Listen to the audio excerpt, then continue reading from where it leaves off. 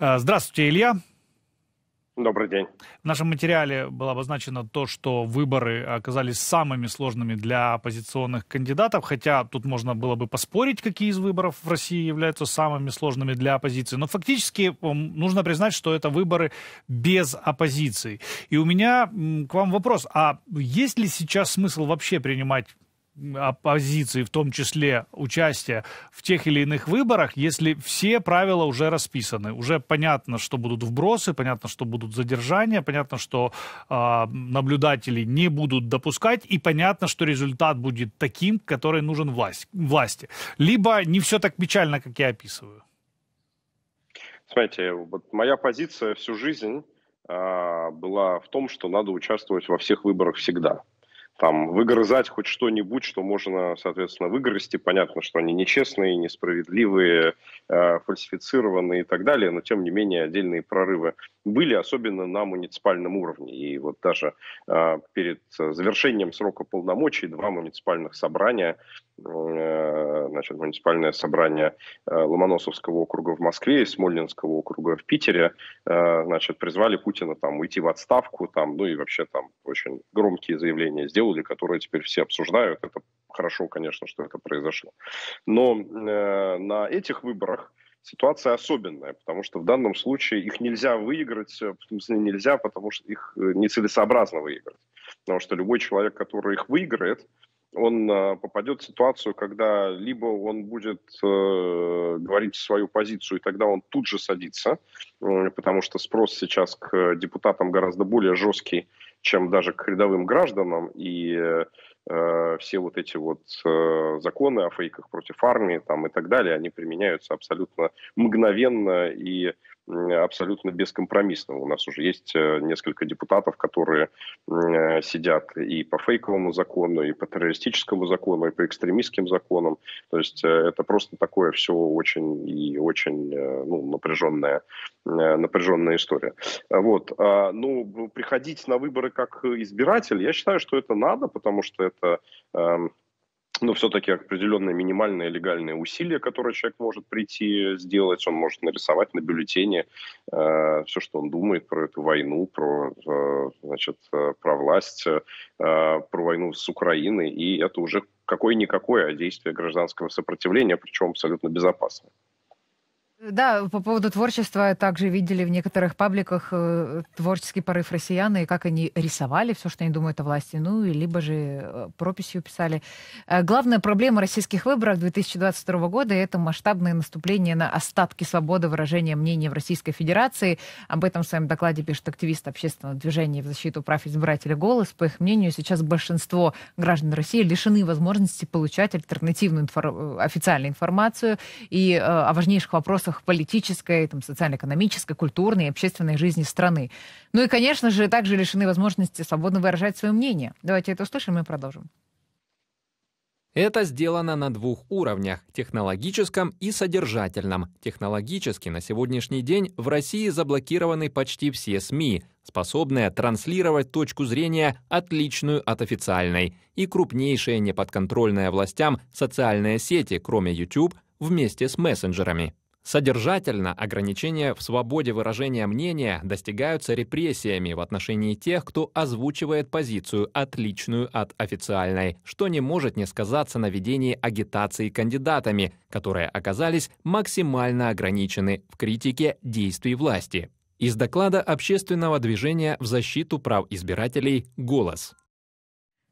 И вот вы знаете, что всегда э, бросается в глаза, вот даже в этом заявлении э, остатки э, свободы выражения мнения. Ну, то есть как бы снова изображается народ Российской Федерации такой огромной жертвой, но вместе с тем дается сноска на то, что все-таки остатки какой-то свободы еще остались. Так почему бы не воспользоваться этими остатками и, например, не высказать несогласие с, результатами выборов, если, конечно, с ними люди будут не согласны. А как вы считаете, вообще остались ли хоть какие-то инструменты, чтобы более-менее безопасно э, это каким-то образом проявлять? Ну, кроме безопасно рисунков нет. на бюллетенях, конечно. Безопасно нет. Э, и в этом как раз, в общем, и вся идея власти о том, чтобы все боялись. Э, именно потому, что всегда можно привлечь по одному или по другому закону. И это одна из причин, почему люди не выходят на улицу, потому что они не видят в этом смысла. Они говорят, ну мы, да, мы там против, там и все прочее, но вот от того, что мы выйдем и в лучшем случае получим астрономический штраф, а штрафы сейчас там в, в, действительно огромные по размеру, или мы пойдем и сядем в тюрьму, ну и что от этого, соответственно, будет хорошо. То есть сейчас э, нету политики, есть э, диссидентство. И есть э, какие-то люди, там, типа Владимира Кармурзы, например, которые, ну вот они диссиденты, да, то есть их позиция, она высокоморальна, они идут сознательно на заклание сесть в тюрьму, потому что они считают это честная позиция. Но эта позиция не политическая, потому что политически надо стремиться сохранять на свободе, э, сохраняться на свободе для того, чтобы либо э, дождаться того момента, когда ты сможешь что-то сделать там теми методами, которые ты готов, или радикализироваться и заниматься вооруженным э, сопротивлением сейчас. А других путей нет. Знаете, вот э, на самом деле люди, которые э, не согласны с действиями Российской Федерации на территории Украины, значит, они сколько-нибудь уже понимают, э, где правда, в чем суть. И вот вопрос морали. Насколько корректно сейчас говорить о безопасности протестующих, когда в Украине каждый день продолжают убивать мирных граждан? Смотрите, э, морально это точно вещи несопоставимые. А, вопрос только в том, что любой риск, даже минимальный, если ты его на себя берешь, он должен быть осмысленным. Ну, то есть ты должен понимать о том, что что-то сделал, ты можешь приблизить э, победу, ты можешь приблизить э, свержение этой э, власти, ты можешь каким-то образом повлиять на жизнь. Э, я никогда не буду призывать людей делать то, что является заведомо бессмысленным. И э, выход на мирную акцию протеста в современной России является действием бессмысленным. Это просто напрасная жертва, и э, ничего кроме там, того, что мы с вами одним вечером про это скажем, о том, что вот, смотрите, там тысячу человек посадили. Вот. Ничего другого от этого не случится. Вот от, э, еще раз скажу, насильственных действий, там, партизанских действий и так далее, мы куда-то двигаемся потому что разрушается вот это ощущение стабильности и, э, собственно, всесилия власти. Это очень важно. И э, это может привести к краху режима.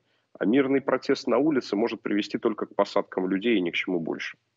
И выбираясь, э, точнее, возвращаясь к теме выборов, о том, как считают, да, о чем говорят на самом деле, что суеты излишней не нужно. Глава Центра сберкома России Алла Памфилова разрешила сберкомам три дня не сообщать итоги выборов. Она рекомендовала комиссиям публиковать результаты не ранее 14 сентября, сообщает настоящее время.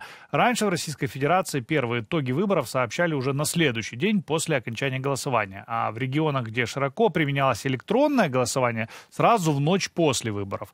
На этих же выборах зафиксировано зафиксирована крайне низкая явка, то есть количество бюллетеней для обработки совсем невелико отмечает также издание. И тут бы хотелось вспомнить, э, уже мы вспоминали о творчестве многих россиян в бюллетенях, да, но на самом деле а, по закону можно засчитать этот голос, если ты там написал что-то, даже неприличное слово на, против какого-то кандидата, это можно засчитать как голос за него и досчитать. Есть достаточно времени, три дня как минимум.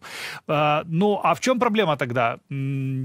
Действительно низкая явка, э, либо э, то, что мы плохо считаем, либо у нас нет электронного голосования. В чем проблема? Либо Не придумали нужно... еще, что делать, как, как да. сфальсифицировать, какие аргументы найти. Куда же еще больше фальсифицировать? Не, ну, не, ну, Панфилова просто говорит, рисуйте качественнее. А, может, они собирают коллекцию этих народных рисунков, я не знаю, выставку будут делать, сложно сказать. Но, конечно, главное это качественнее фальсифицируйте выборы, чтобы потом вам не говорили, а, что вы там что-то, значит, у вас цифры не сходятся. А, нет, смотрите, конечно, даже в существовании не электронного, а чисто бумажного голосования подсчеты голосов на всех российских выборах происходили в ночь после голосования. И э, среднее время с момента закрытия избирательных участков до получения результата на уровне региона это составляет 4-5 часов. Э, многократно это делал, и э, мы даже делали общественную систему, параллельную системе газ-выборов, то есть официальной системе э, подсчета голосов. Мы вообще по этой параллельной системе получали полную информацию о выборах в течение двух часов после того, как избирательные участки закрыты.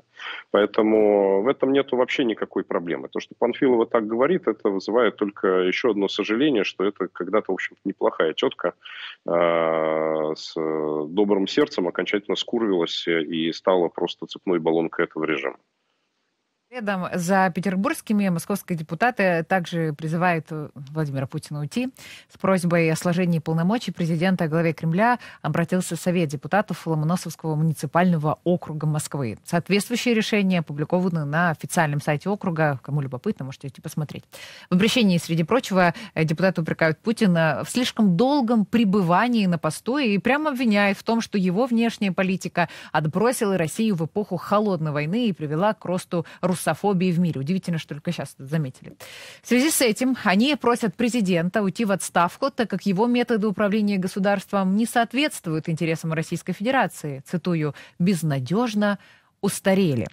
И вот э, вопрос тут логичный. А что же теперь будет этим депутатам, которые осмелились вот так заявить? И вообще, что это за попытки такие? Потому что война России против Украины по факту идет э, полгода уже даже больше, чем полгода. Это э, так, чтобы, знаете, поставить галочку, чтобы когда Путина будут казнить, чтобы их не зацепило? Или наконец-то осмелились? Что это вообще за такие вот Да, и почему движения? именно муниципальные депутаты Санкт-Петербурга и Москвы? Слушайте, ну давайте к людям относиться объективно э, и предполагать в них презумпцию невиновности. В данном случае э, речь идет о том, что и в Москве, и в Питере был целый ряд э, действительно оппозиционных муниципальных собраний. Это проект, э, которым когда-то занимался э, Дмитрий Гудков, э, этот самый Максим Кац, Виталий Шкляров, ну и даже вот ваш покорный слуга немножко помогал в этой истории. В итоге избрано действительно было большое количество оппозиционно настроенных депутатов. Прежде всего в этих двух городах, хотя были и другие города, в Новосибирске тоже довольно много людей было избрано, в Томске и все прочее. В отличие от депутатов государства, Государственной Думы у этих депутатов э, иммунитета нет. И когда появились первые депутаты э, в округе Якиманка, в частности, в Москве, которые высказались против этой войны сразу же, там, в первую же неделю э, после этого, их тут же посадили. Э, и там один человек сидит, э, один человек в бегах, э, и там еще несколько уголовных дел, которые на данный момент возбуждены. Остальные решили дождаться окончания срока полномочий, чтобы сделать вот этот вот финальный выстрел самый полезный чисто политехнологической точки зрения вот перед выборами, да, то есть для того, чтобы хоть как-то помочь тем, кто будет баллотироваться и, значит, показать, что все-таки, ну, то есть у людей есть честь и совесть. При этом питерский округ высказался, это Смольнинский округ в Питере, э, высказался четко именно антивоенно, и сейчас уже все депутаты, которые подписали эту историю, находятся под уголовными делами. Э, за вот этот вот закон о фейках в армии. Э, в Москве высказались э, чуть-чуть более, так скажем, сбалансированно, то есть они высказались очень жестко в адрес Владимира Путина, но никак это не связывали с войной для того, чтобы не попасть под этот закон. Но, тем не менее, ну, к сожалению, сомнений нет, что там уголовные дела тоже будут, но, там, может быть, чуть позже, когда они придумают, как именно. Степенность это, конечно же, ценное качество э, для каждого человека, но когда речь идет о войне, наверное, это не совсем уместно. У меня вопрос, почему же после Бучи подобного не произошло, или хотя бы после того, как Владимир Путин награждал э, военных, если их можно так назвать, которые творили все эти зверства в Буче. Почему тогда не был высказан вот такой протест? Ну, какое-то количество людей высказывало этот протест. И, да, ну были люди из депутатов, которые высказывали этот протест, да, то есть несколько десятков депутатов по России высказывали этот протест, там то есть целый ряд людей, опять скажу, и попали под уголовные дела, и ушли в отставку, и были вынуждены уехать из страны. То есть их э, достаточно было много. Но, э, смотрите, ну, э, еще раз, человек существо рациональное. Он что-то делает, понимая, что он может как-то повлиять на ситуацию. Потому что то, что это сделать, это означает, что человек должен разрушить свою карьеру, сделать невозможным свое пребывание в стране, э, там, пойти в тюрьму и еще всех родственников за собой утащить. Вот, э, по сути дела, что означает подобный шаг любого депутата. Это все равно есть люди, которые делают такие шаги, но политически тем самым они себя из борьбы полностью убирают. Я еще раз поэтому скажу, что э, наиболее плодотворное действие, наиболее результативное, наиболее разумное, хотя тоже небезопасное, безусловно, но абсолютно разумное, это как раз партизанское сопротивление, нелегальная борьба, анонимная борьба, но э, борьба насильственная. Вот э, эта история, она приносит какой-то результат и влияет на режим. А вот такие вот легальные формы протеста, они приводят только к увеличению населения российских тюрем. Ну, партизанские методы борьбы, что вы имеете в виду непосредственно? Это э, разрушение инфраструктуры какой-то, либо листовки? Как это должно происходить? Ну, у каждого есть э, свой предел э, опасности, безопасности, на который он готов идти. Кто-то коктейли Молотова кидает в военкоматы, кто-то устраивает акты рельсовой войны и пускает военные поезда под э, откос. Кто-то нападает на провоенных активистов, которые ведут соответствующую пропаганду и деньги собирают на э, разные военные э, действия, которые идут в Украине а кто-то вот и более серьезными вещами занимается, типа нападений на Дугинах. У каждого свой, свой порог.